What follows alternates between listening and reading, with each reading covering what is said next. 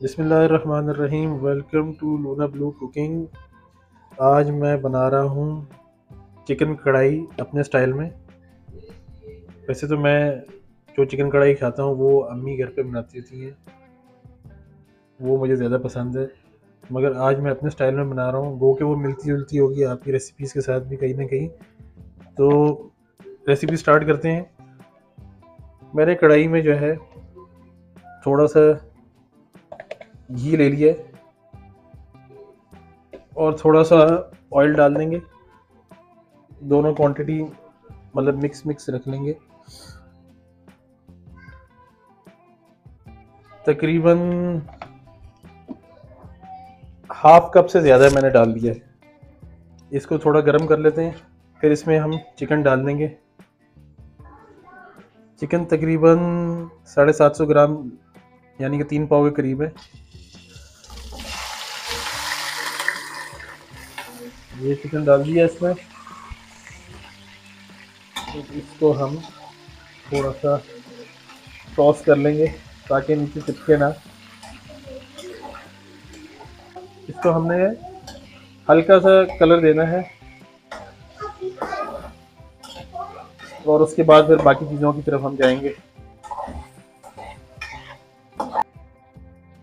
थोड़ा सा ऑयल कम लग रहा है। मैं चले ऑयल नहीं डालूँगा, इधर डाल दूँगा। थोड़ा सा घी। और इसको बस हिलाते जाते हैं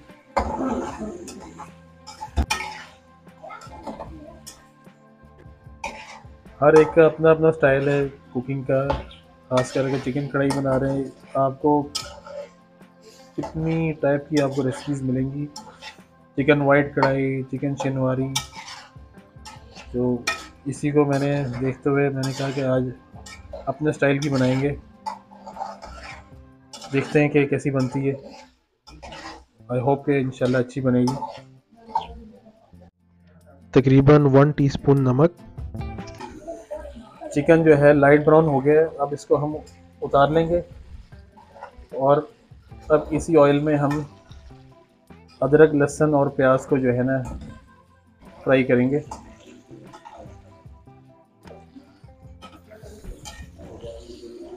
इसको हम निकाल लेते हैं।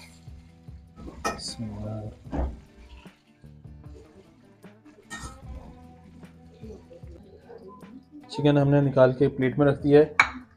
हम जो है अदरक लहसुन की पेस्ट डाल देंगे एक एक टेबल स्पून और इसको ब्राउन कर लेंगे ताकि इसका कच्चापन जो है ख़त्म हो जाए। और इसके साथ ही हमने जो है दो मीडियम प्याज इसमें ऐड कर लेने। इस पॉइंट में ऐड करने की रीज़न ये है कि इस ऑयल में जो है चिकन के सारे जूसेस प्याज में शामिल हो जाएँगे और इससे एक अच्छा आपको फ्लेवर मिलेगा।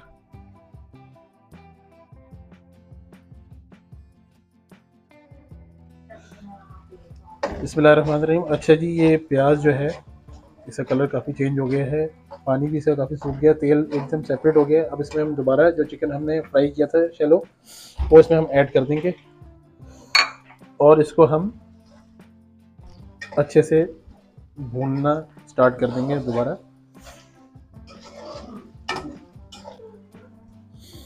ये जी टमाटर इसमें हमने, मैंने लिए तकरीबन तीन टमाटर लिए हैं।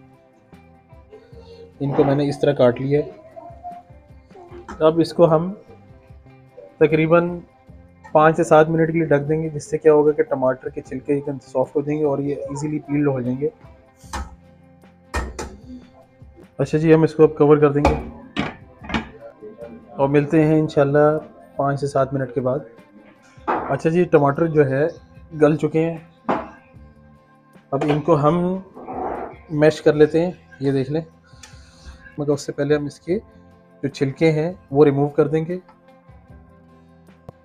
अलहमदिल्ला टमाटर जो है एकदम गल गए हैं और चिकन भी देखें, अच्छी तरह से इसने ऑयल छोड़ दिया है। अब इसमें हमने, ये मैंने वैसे कढ़ाई इतनी ज़्यादा स्पाइसी नहीं बना रहा, मैंने बस नॉर्मल मसालों में बनानी है। अच्छा इसमें अब हम बाकी सारे मसाले ऐड कर देंगे। ये हाफ़ हाफ़ टी स्पून मैंने लिया है हाफ़ टी स्पून सूखा धनिया हाफ़ टी स्पून लाल मिर्च हाफ़ टी स्पून से कम जो है हल्दी गरम मसाला सॉरी ज़ीरा और काली मिर्च। गरम मसाला हम एंड पे डालेंगे। अभी इसको भी इसको इस वक्त डाल देते हैं। बसमीम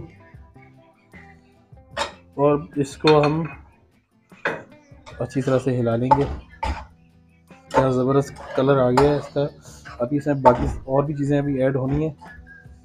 तो इन हमारी कढ़ाई बस हाफ़ डन हो गई है। ये देखने कैसा इसका जो है, ये थिकनेस देखें इसकी मसाले की। अच्छा इस पॉइंट पे हमने लीमू डाल देना है थोड़ा सा, कि आपको किक मिलेगी। मैंने अभी हाफ़ लीमू लिया है और थोड़ा सा बल्कि पूरे डाल लेते हैं एक लीमू अब इसको हम मिक्स कर लेते हैं। अब इसमें हमने हरी मिर्चें डाल देंगे। हरी मिर्चें मैंने जो है, तीन हरी मिर्चें मैंने इस तरह इनको काट लिया है। अब इसको स्प्रेड कर देंगे। अब इसको हम थोड़ा सा इसमें ज़रा मिक्स कर लेंगे अच्छा हरी मिर्चें जो है, इस पॉइंट में मैंने इसलिए डाली थी यूजली लोग जो हैंड पे डालते हैं गार्निश के लिए, मैंने इसलिए डाली है कि इसमें इसका जो है ना फ्लेवर पूरा चला जाएगा। अब इस पॉइंट पे हमने डाल देना है दही। दही तकरीबन मैंने दो से तीन टेबल स्पून लिए ये डाल देना है। और अब इसको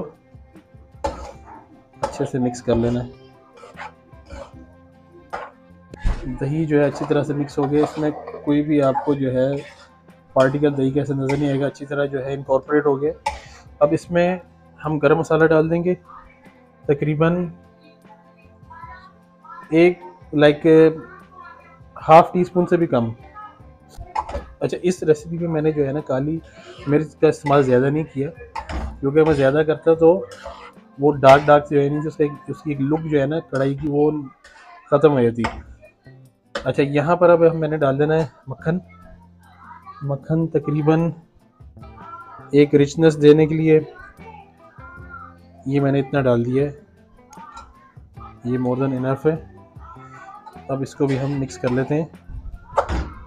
अल्हम्दुलिल्लाह, माशाल्लाह से रेसिपी हमारी रेडी होगी चिकन कढ़ाई हमारी जो है, बिल्कुल तैयार है। उसको हम, मैंने जो है गार्निश कर दिया है। हरी मिर्चें, अदरक और धनिया से। और मक्खन का जो तड़का जो एंड पे लगाया है, उसका एक जो है, उसकी खुशबू आउट क्लास है। बहुत ज़्यादा आसान रेसिपी है, इसमें ज़्यादा मसाले नहीं हैं। आप लोग ज़रूर ट्राई करें और मुझे बताएँ कि आपको ये रेसिपी कैसी लगी है। कमेंट बॉक्स में मुझे बता दीजिएगा। इन फिर किसी नई रेसिपी के साथ आपके साथ मुलाकात होगी। अपना ढेर सारा ख्याल रखिएगा। अल्लाह हाफिज़। अल्लाह ने के मान